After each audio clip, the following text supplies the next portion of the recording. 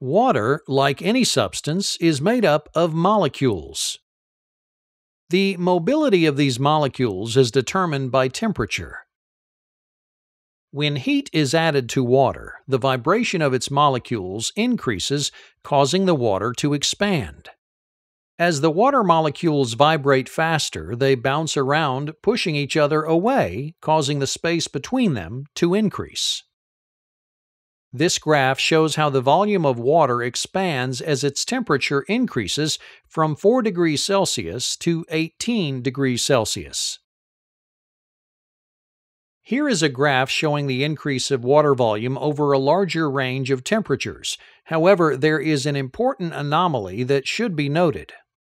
When you zoom in on the graph between 0 and 4 degrees Celsius, you'll notice that there is no expansion in this range. In fact, there's a slight decrease in volume. This is due to water's unique property of having less density as a solid than as a liquid. This can be explained by the crystalline structure of ice. When water molecules cool down, they vibrate less, as the temperature reaches freezing, these slow moving molecules latch onto each other at specific points, creating rigid ice crystals with a distinctive lattice shape. The relatively large space between frozen water molecules is the reason that ice is more voluminous than water and likewise less dense.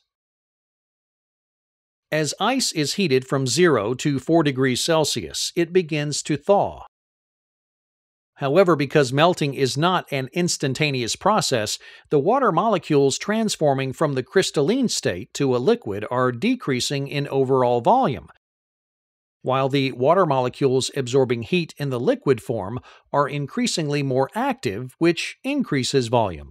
However, because the collapse of ice crystals dominates these two opposing processes, the net effect is a decrease in the overall volume.